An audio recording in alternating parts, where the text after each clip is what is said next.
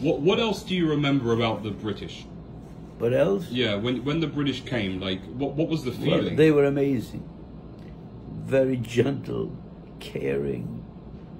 Make sure you had everything there. I, I was completely overwhelmed and uh, felt for the first time since all this started like a, a secure, like people care, like like what Abraham said.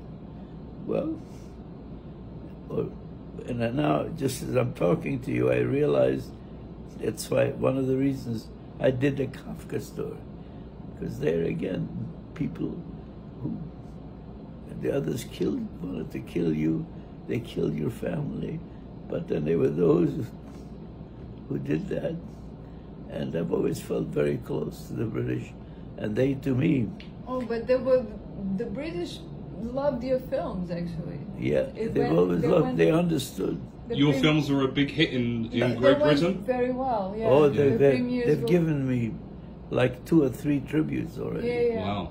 They get him there. And uh, and they got it. Like there's a magazine, you could get it on, find it.